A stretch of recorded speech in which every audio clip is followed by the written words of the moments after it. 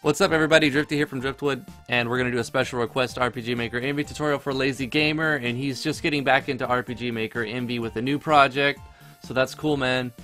Um, he says the Making a Game series has inspired me, but he's looking at Yanfly's synthesis plugin, and what he's trying to do is make one item turn into five items instead of uh, you know, five items turning into one item. So he has the right idea. You say I could use Yanfly's item disassemble, but that's a whole nother plug. Any any ideas? And I understand it could be difficult trying to learn another plugin, and each plugin takes time and effort.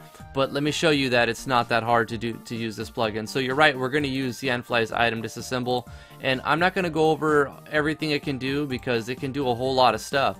But I'll show you how quickly you can make what you're looking to do. So just put the plugin in the right place and uh, underneath the item core and you're gonna get it uh, item disassemble. It's an expansion you can see from the X so you have to have the item core. Put uh, item dis disassemble on and uh, you can change the sound effects if you want if whatever to whatever you want them to be.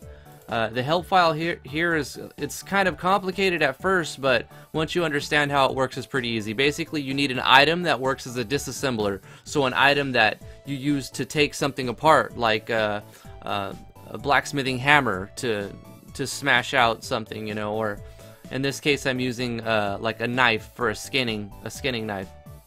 And then you also need to note tag the item that you're going to disassemble. So uh, everything you need to know is in, is in uh, the help file, but let me just get to something that's very uh, easy to look at. So go to your items, create a couple new items. You're going to make your disassembler item. In this case, we're going to make a leather cutting knife. You're going to give it no, uh, no consumable, never occasion, scope of none. You're going to give it disassembler. You're going to put a colon here. And then you can put whatever you want right here. This name is arbitrary. You can just put scraping or whatever you want it to be.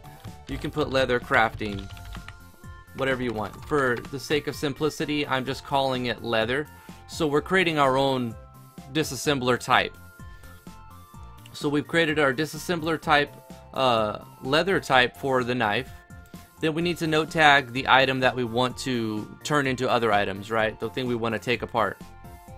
So once again, you can do this with uh, several different different ways in the, the plugin, but I found it, it's really easy just to make up a type and then uh, put that as in the disassembler pool. So we're going to add some note tags here. We're going to do, do disassembler pool colon and then we're going to put the same name as the disassembler item. So we're creating a knife that's disassembler leather. So in the disassembler pool, we're going to say this is the leather disassembler pool. And inside this uh, pool, here's what you can have. If you want to have multiples of an item, you can just write X and then the number. And you said you wanted it to turn into 5, so we'll do X5. One thing that uh, caught me off guard, I would do this, times 5. Or I would go uh, 5X and then leather strap. So this wouldn't work. It only reads the X and then a number. If you put the number first, it won't read the, any of the line. So one little uh, thing that got me stuck for a little while was writing the number first. Uh, alternatively, you can go like this.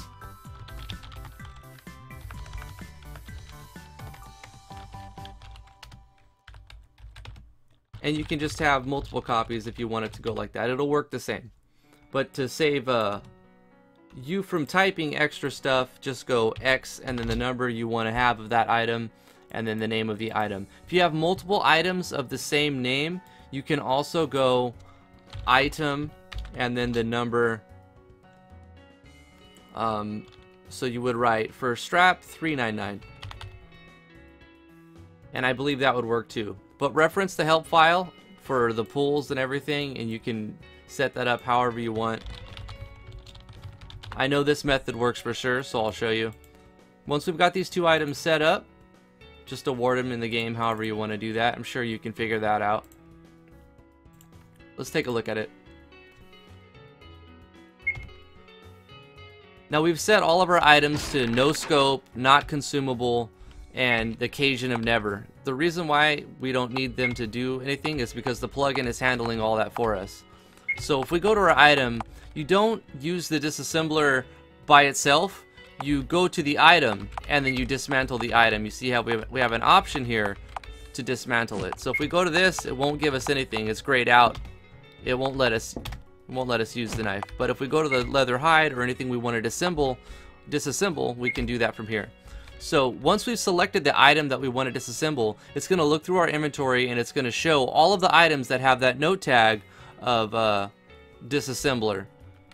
In this case, we only have one, the leather cutting knife, so we're going to select that one. But um, if you have multiple, you'll be able to see what you can get uh, with this disassembler. This is a really cool feature, even though it's an extra layer of complexity. It's really cool when you once you understand it, because now you can have different tiers of leather cutting knives. You can have a leather cutting knife plus one that gives uh, six leather straps instead of five.